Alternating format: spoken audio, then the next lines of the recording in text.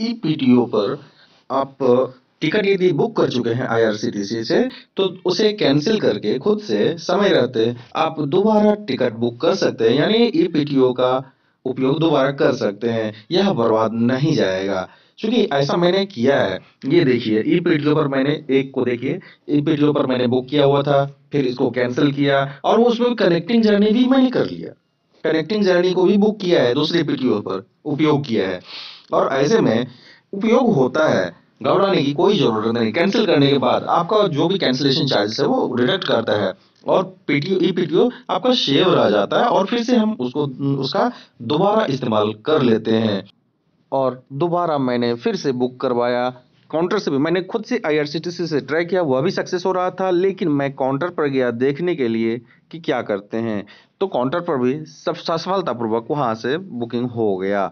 घबराने की कोई ज़रूरत नहीं है। कैंसिल चार्जेस कैंसिलेशन का चार्जेस कुछ डिडक्ट किया जाता है, बाकी रिफंड हो जाता है। यदि आप टिकट कैंसिल करवाते हैं तो और फिर से दोबारा आप उसका इस्तेमाल कर सकते हैं। वही पिन और वही अपना पीटीओ नंबर डाल करके, वह आपका सेव रह जाता है।